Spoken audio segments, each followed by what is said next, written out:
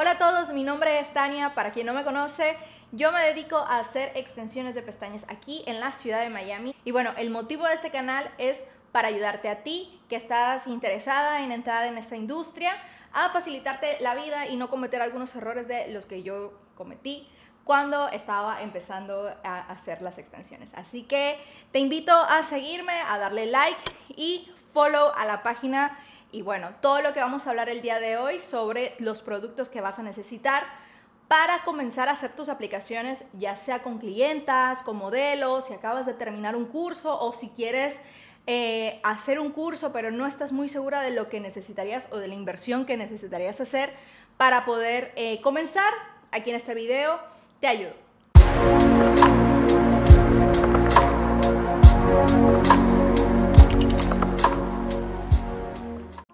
Bueno, y ahora sí, vamos a entrar a los productos, a lo que vinieron a ver. El producto número uno, y para mí uno de los más importantes, es la lámpara. La lámpara que nosotros necesitamos para empezar a trabajar. Muchos te van a decir el ring light para comenzar, está bien, es válido. Sin embargo, en mi experiencia, en el caso que tú quieras conseguir un ring light, les voy a poner aquí la foto, eh, es que el ring light cuando lo usas y lo tienes en esta parte de la camilla, suele darte un poco de sombra del otro. Entonces, mi recomendación es que si tú quieres utilizar un ring light, sean dos ring light para que tengas uno de cada lado y la luz sea espectacular y las fotos del, después del procedimiento te queden de lujo. Ok, mi recomendación en caso de que no quieras utilizar un ring light, porque mi recomendación sería que tengas dos, es la siguiente lámpara que les voy a dejar aquí en una fotito y también les voy a dejar el link en Amazon para que la puedan adquirir. Esa para mí es la lámpara perfecta porque al ser un poco más como ergonómica en, en, el aspecto de que las lámparas las tiene como sobre el cliente, logras ver muchísimo mejor las pestañas y en todo el procedimiento tienes muy buena luz. Ok, ahora vamos a pasar al segundo producto. El segundo producto obviamente es muy importante a la hora que nosotros vayamos a empezar a realizar los procedimientos ya sean modelos o en clientes y es la camilla de pestañas. Aquí, e igual como las lámparas, que tengo dos opciones, aquí también hay dos opciones. Puede ser la tradicional camilla de pestañas, eh, en donde la clienta va a poder estar acostada y demás. Sin embargo, obviamente hay clientas, y me ha pasado, que se sienten un poco incómodas de estar acostadas en la espalda recta por muchas horas. Entonces tenemos la segunda opción, que es como una silla o mueble reclinable, que esto nos va a ayudar, o le va a ayudar a la clienta a que no esté como esas dos horas súper quieta y le vaya a molestar como la columna y demás. Como les digo, depende de cómo se vayan acostumbrando o cómo se vayan a acostumbrar a la hora de, comenzar a hacer eh, las extensiones por mi parte, yo he trabajado tanto en camilla como en estos sillones reclinables. A mí en lo particular me gusta más la camilla, para mí es más cómodo. Sin embargo, porque en el mueble es como la columna se me pone un poco un poco chueca, yo estoy ahí como arriba de la clienta, me empieza a doler un poco el cuello, pero en la camilla la verdad yo me, he acostumbrado bastante bien. La postura y eh, la altura que, que tengo con la clienta para mí es perfecto. El tercer producto que vamos a ver es una almohada para el cliente, porque como les había dicho, en la camilla el cliente va a estar acostado de 2, 3 horas y justo cuando nosotros estamos empezando a hacer estos procedimientos nos tardamos 4 o 5 horas. Así que se los digo porque yo cuando empecé a hacer las extensiones de pestaña, eh, me tardaba con una persona, una modelo, una clienta, 4 horas, 5 horas y la, persona tiene que estar ahí de manera rígida. Entonces la almohada nos va a ayudar o le va a ayudar a la clienta a sentirse mucho mejor, estar un poco más cómoda eh, durante el procedimiento.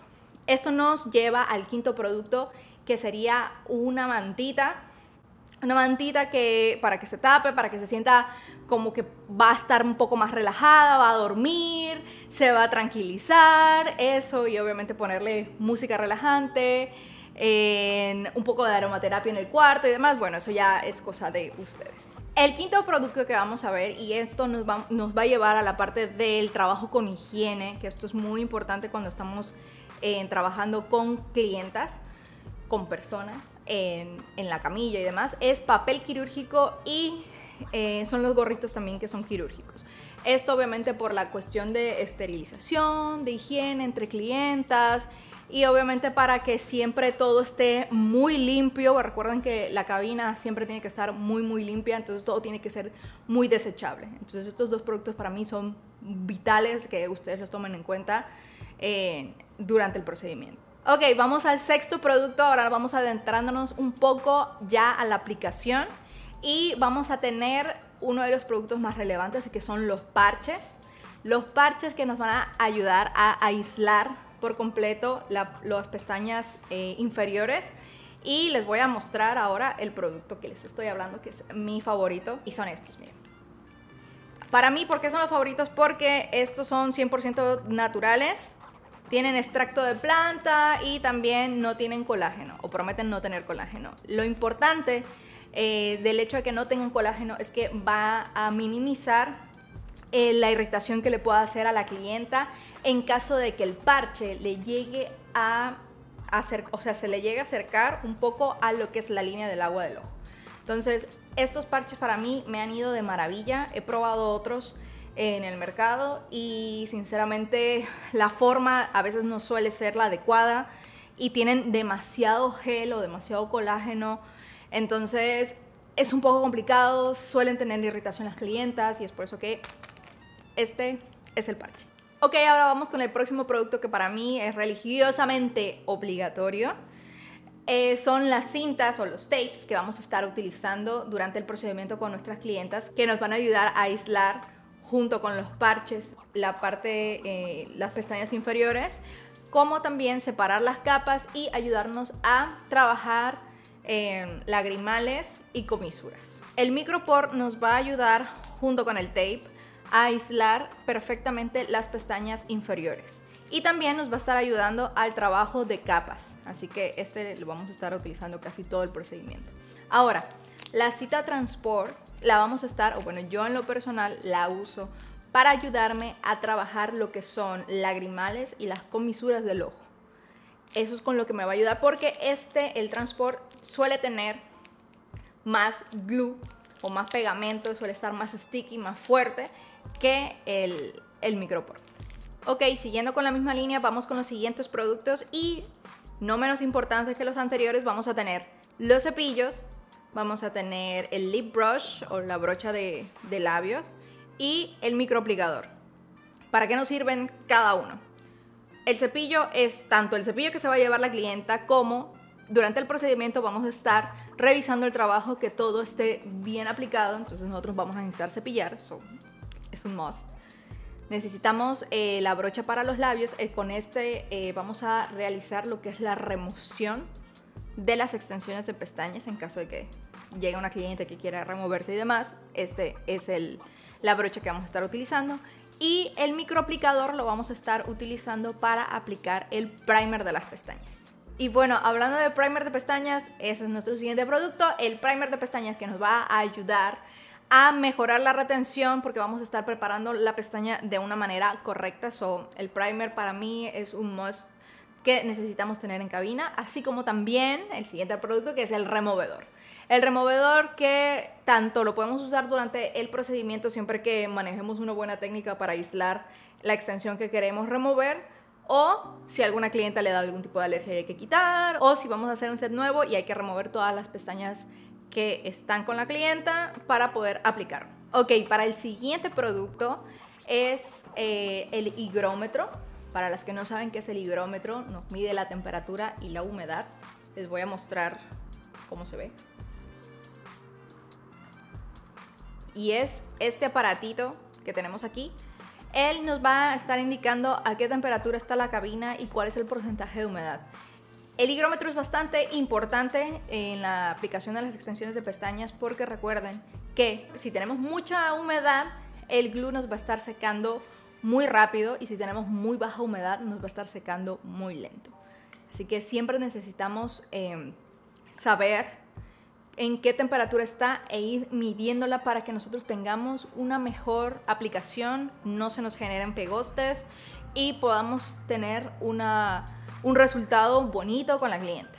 Y hablando de glue, ese es nuestro siguiente producto. El glue es algo, vaya, muy importante para las extensiones. Recuerden que necesitamos utilizar glues que sean exclusivos para extensiones de pestañas. No se pongan a inventar, no compren otro tipo de glue, tiene que ser exclusivamente para uso de extensiones de pestañas. ¿Ok? He tenido casos de clientas que vienen y tienen aplicaciones con glues ya sea de pestañas que son postizas de tira o algunas con glues que son para peluca. Entonces hay que ser muy responsable con el pegamento que vamos a estar, el adhesivo que vamos a estar utilizando en los ojos de nuestras clientes. Y bueno, hablando de glue, el tip que yo les doy, mi recomendación, porque generalmente cuando nos están enseñando a aplicar por primera vez las extensiones de pestañas, o nos dan una piedra de jade o un cristal para poner sobre esa piedra un tape y sobre el tape una gota de glue. ¿Qué pasa? Así yo lo hacía al principio y está bien. Pero con el paso del tiempo yo me di cuenta que esa gotita se cristalizaba muy rápido por la humedad de la habitación. Entonces, ¿cómo nosotros podemos mantener la gota un poco más húmeda durante más tiempo? Casi el tiempo de la aplicación yo me encontré con estas florecitas que me han de verdad revolucionado la vida. Yo puedo estar con una, máximo dos gotas durante todo el procedimiento y ya no es estar pegando y pegando y pegando em, gotitas de adhesivo en ese tape como lo hacía antes y el trabajo se ve un poco más sucio y hay veces que se te pone chicloso. Entonces yo les recomiendo 100% estas florecitas que, que se utilizan y de verdad que les va a cambiar la vida. Ya estamos en la recta final de los productos y el siguiente y muy importante son las pinzas. En las pinzas vamos a necesitar, en caso de que vayamos a hacer o vayamos a comenzar con una aplicación únicamente de clásicas, vamos a necesitar la pinza recta y una pinza curva.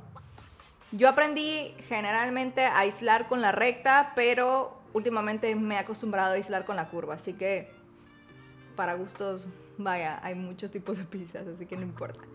Y bueno, en caso de volumen, vamos a necesitar la recta, la curva y una de volumen. Ya sea para aislar con cualquiera de las dos primeras y la curva para hacer los abanicos o para agarrar el abanico de manera correcta. Las pinzas, bueno, hay muchos tamaños, formas, colores, estilos y demás. Yo les voy a dejar aquí una lista de mis favoritas para que las prueben. Ok, ahora vamos al producto que seguro todo el mundo andaba esperando, y son las pestañas. ¿Qué pestañas, qué cantidad de pestañas, qué curvaturas de pestañas, qué diámetros vamos a comprar cuando yo apenas estoy empezando? Cuando nosotros apenas estamos empezando realmente no sabemos con certeza qué es lo que necesitamos o qué, qué es lo que más nos, nos va a pedir el cliente. Lo único que les puedo recomendar como tal es que compren trays mixtos que compren las cajas que tienen del 7 al 15, del 7 al 14 y demás. Esa cajita por cajita a ustedes va a dar más o menos para dos clientas y quizá para un refill. Esa es eh, la, porción por, por esa cajita que, van a, que ustedes van a tener.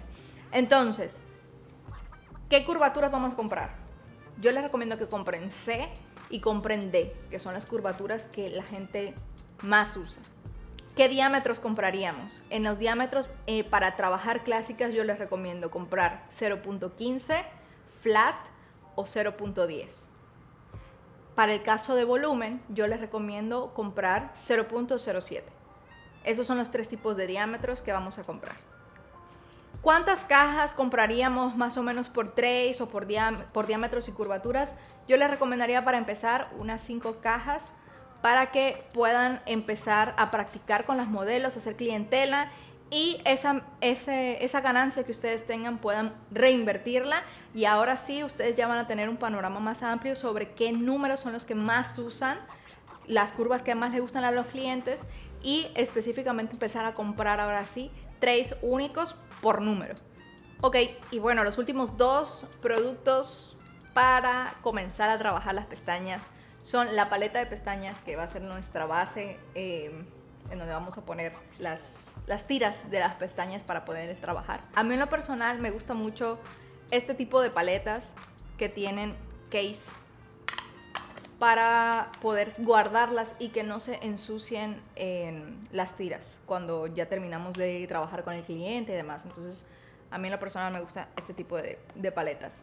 Y el último producto, pero no menos importante, nuestro ventilador. El ventilador de verdad es necesario porque hay que secar muy bien a la hora de, de nosotros terminar el set para que entonces no haya ningún inconveniente con, con tu trabajo. Bueno, y eso es todo por el video de hoy. Espero que toda la información de este video haya sido de mucha ayuda para ti que quieres emprender en esta industria. Recuerden que les voy a dejar en la descripción los links de todo lo que hablamos aquí el día de hoy. Les deseo muchísimo éxito y déjenme en los comentarios de qué más temas les gustaría que esté hablando en los próximos videos. Y no se les olvide darle like y suscribirse al canal para no perderse ningún video.